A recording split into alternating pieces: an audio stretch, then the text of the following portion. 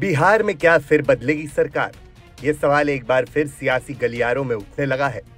इसकी वजह है बिहार को मौजूदा प्रावधानों में विशेष राज्य का दर्जा देने से केंद्र सरकार का इनकार करना।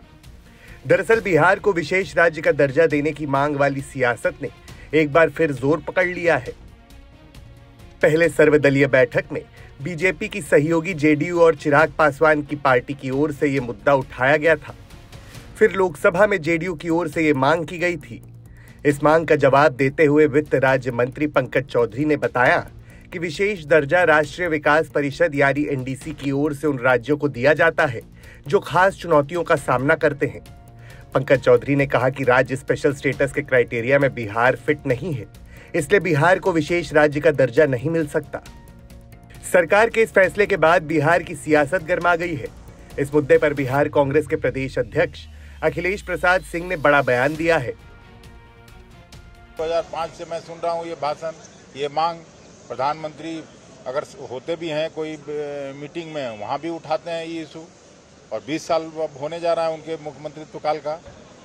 तो बिहार के लोगों को ठगा नहीं जाना चाहिए बरगलाना नहीं चाहिए तुरंत इस मांग को पूरा किया जाना अखिलेश प्रसाद सिंह ने केंद्र की एनडीए सरकार और बिहार के मुख्यमंत्री को आड़े हाथों लेते हुए सलाह दी है।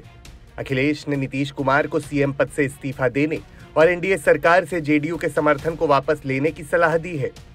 अखिलेश प्रसाद सिंह ने कहा, नीतीश कुमार इंडिया गठबंधन छोड़कर एनडीए के साथ इसलिए गए थे क्योंकि डबल इंजन की सरकार बनेगी तो बिहार को विशेष राज्य का दर्जा प्राप्त होगा और राज्य का चहुमुखी विकास होगा।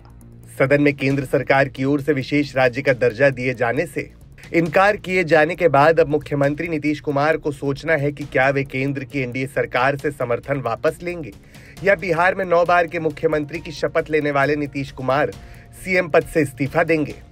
आखिर मुख्यमंत्री नीतीश कुमार राजनीतिक लोभ में कब तक सत्ता के लिए भाजपा और एनडीए का साथ देकर बिहार और विकास की गति को अवरुद्ध करते रहेंगे?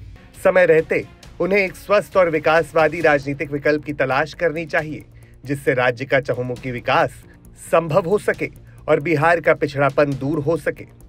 नीतीश कुमार को अब नैतिकता के आधार पर मुख्यमंत्री पद छोड़ने की हिम्मत करनी चाहिए। कांग्रेस की सलाह से बिहार में सियासी भूचाल आ गया है। यह पहली बार नहीं है जब नीतीश कुमार की कोई मांग नरेंद्र मोदी सरकार ने ना मानी हो। इससे पहले भी ऐसा कई बार हो चुका है। आरजेडी सुप्रीमो लालू यादव ने भी नीतीश से इस्तीफे की मांग की है। नीतीश कुमार ने कहा था कि दिलाएँगे। सेपा करें। सेपा करें दे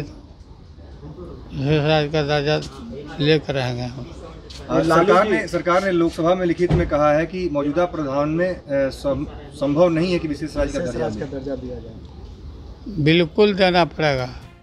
अब देखना यह है कि आखिर नीतीश कुमार क्या कदम उठाएँगे।